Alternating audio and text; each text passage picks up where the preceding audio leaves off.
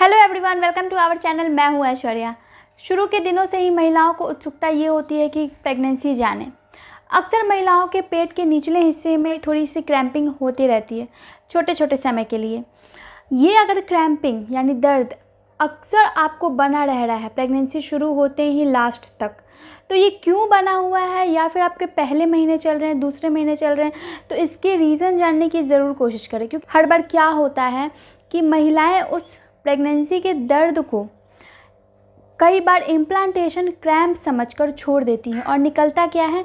कि ectopic pregnancy रहती है अनहेल्दी प्रेगनेंसी रहती है और इस वजह से महिलाओं को अक्सर पेट में दर्द बना रहता है। इम्प्लांटेशन क्रैम्प क्या होता है? ये इम्प्लांटेशन डेज़ में ही आएगा, यानी कि जब आपका एम्ब्रो आरोपित होगा गर्भाशय की दीवार पर, तभी आपको इम्प्लांटेशन का क्रैम्प समझ में आएगा। और अगर उसके बाद आपको, यानी कि डेट मिस हो चुका है आपका और अभी भी आपको लगातार दर्द होते रह रहा है और साथ में आपको चक्कर जैसा फील होता है, पेट के निचले हिस्से में बहुत ज़्यादा दर्द दर्द होता है स्पॉटिंग दिखती है अक्सर। तो ये एक टॉपिक प्रेगनेंसी का और बहुत ज़्यादा अगर आपको स्पॉटिंग दिख रहा है तो ये मिस्ड एबॉर्शन का भी साइन हो सकता है। तो इम्प्लांटेशन डेज़ में अगर आपको दर्द हुआ, कुछ घंटे महसूस हुआ या एक, सिर्फ़ एक से दो दिन महसूस हुआ इम्प्लांटेशन डेज़ कब होता है?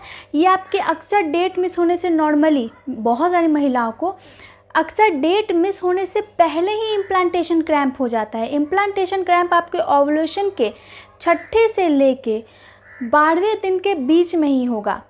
नॉर्मली जो इम्प्लांटेशन फ़ेज़ जिसे हम कहते हैं, होता तो ये डेट मिस होने के बाद भी कई महिलाओं को है, जिनमें बहुत लेट लेट सारे सिम्टम्स दिख रहे हैं, बहुत लेट लेट सारे एक्टिविटीज़ हो रहे हैं इंटरनली तो उन महिलाओं को डेट मिस होने के बाद भी इम्प्लांटेशन हो सकता है, लेकिन अक्सर महिलाओं को डेट मिस होने से पहले होता है इम्प्लांटेशन ये इम्प्लांटेशन डेज़ में आपको पेट के निचले हिस्से में हल्का सा दर्द महसूस होगा। ये दर्द बहुत ज़्यादा तीव्र नहीं होता है। बहुत ज़्यादा मरोड़ जैसा या बहुत बड़ा ऐठन जैसा दर्द नहीं होता है। ये दर्द कुछ बोला मैंने जैसे कि कुछ मिनटों या फिर उसी दिन महसूस होगा, फिर चला जाएगा। दर्द के साथ हो सकता है हल्का सा स्पॉटिंग भी नज़र आए, फिर वो भी कभी नज़र नहीं आए, डेट मिस होने के बाद भी नहीं। तो ये इम्प्लांटेशन क्रैम्प है। इम्प्लांटेशन क्रैम्प का दर्द जो है, चुभन जैसा, मरोड़ जैसा, या ऐठन जैसा, या टिकलिंग जैसा, गुदगुदी जैसा, वैसा भी दर्द होता है। कई महिलाओं को तो दर्द अनुभव भी नहीं होता है। इतना हल्का सा क्रैम्प होता है कि कब आया, कब चला गया, ये भी अनुभव नहीं होता है। तो क्रैम्पिंग अलग अलग होती है।